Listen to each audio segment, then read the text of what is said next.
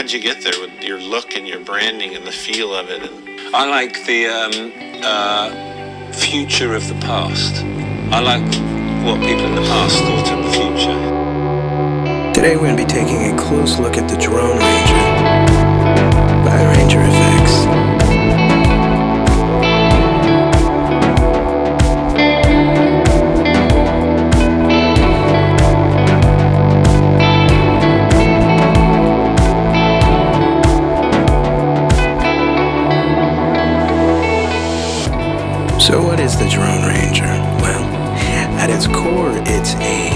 Modulated digital delay with one caveat.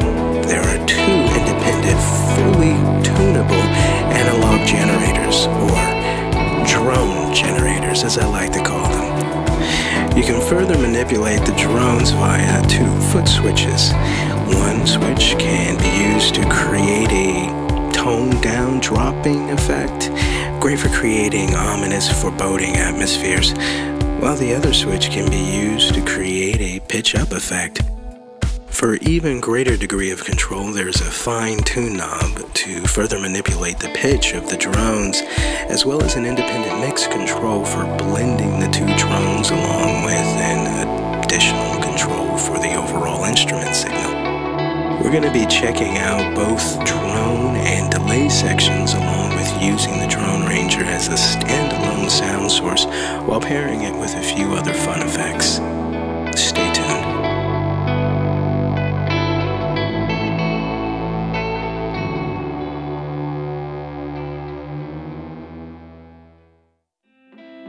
Well, the eagle thing is, um, yeah, I think like everyone, they people very often want to control their sound in real time while they're playing. yes, definitely. And I thought I want to do that.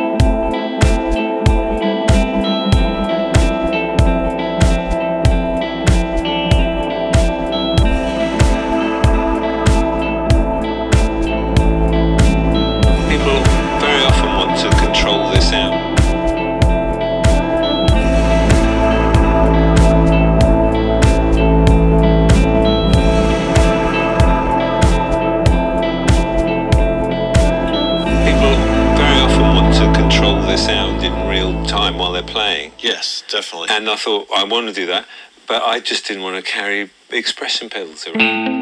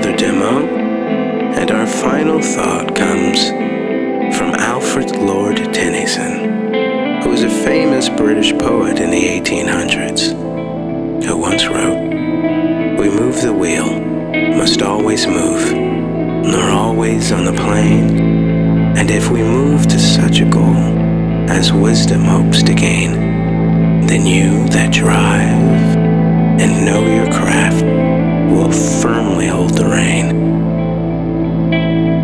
This has been